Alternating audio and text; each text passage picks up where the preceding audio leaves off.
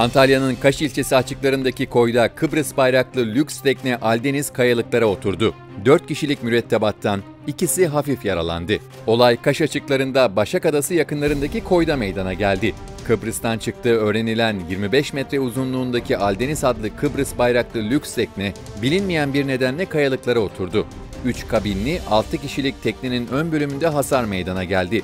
Hafif yaralanan 4 kişilik mürettebattan ikisi Kaş Devlet Hastanesi'ne götürülüp ayakta tedavi edildi.